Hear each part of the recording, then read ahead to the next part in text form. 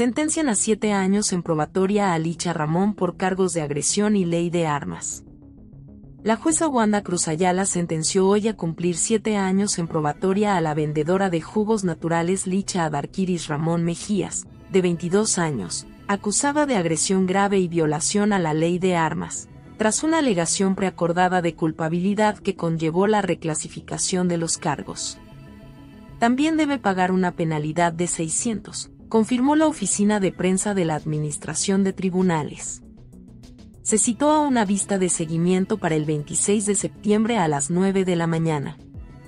El acuerdo contó con el aval de la perjudicada a la cual se le extendió por un año una orden de protección al amparo de la Ley 284-1999, conocida como Ley contra el acecho en Puerto Rico.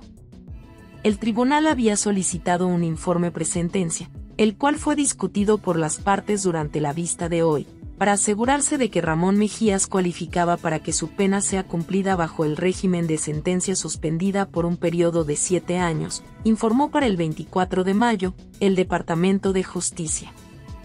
Ramón Mejías está acusada por agresión grave, en el caso de la ley de armas del artículo 6.06, portación y uso de armas blancas, se reclasificó al 6.08, posesión de armas de fuego sin licencia.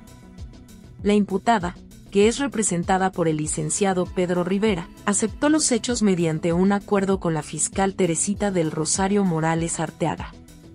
Se le impusieron condiciones de horario, tratamiento psicológico y cumplir con la orden de protección.